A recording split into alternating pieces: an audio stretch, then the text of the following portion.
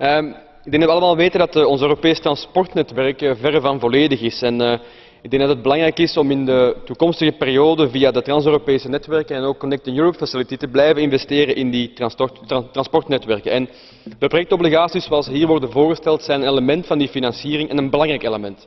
We weten allemaal dat lidstaten het moeilijker en moeilijker krijgen om grote infrastructuurprojecten te financieren. We weten ook allemaal dat er heel veel slapend kapitaal aan de kant staat vandaag, dat het heel moeilijk maakt om dat kapitaal te mobiliseren om te investeren in de echte economie. En de projectobligaties kunnen daartoe bijdragen om dat privaat kapitaal naar goede infrastructuurprojecten met Europese toegevoegde waarde te leiden. De 230 miljoen die nu ter beschikking wordt gesteld is natuurlijk maar een begin, maar het laat wel toe om een aantal kleinere projecten te financieren en tegelijkertijd ook op zoek te gaan naar een aantal technische vragen die vandaag nog bestaan bij veel investeerders, ook bij ratingbureaus, om die weg te werken en om in de volgende beleidsperiode echt ten volle de investeringen te kunnen doen, ook via die projectobligaties. En mijn fractie steunt dit voorstel dan ook ten volle.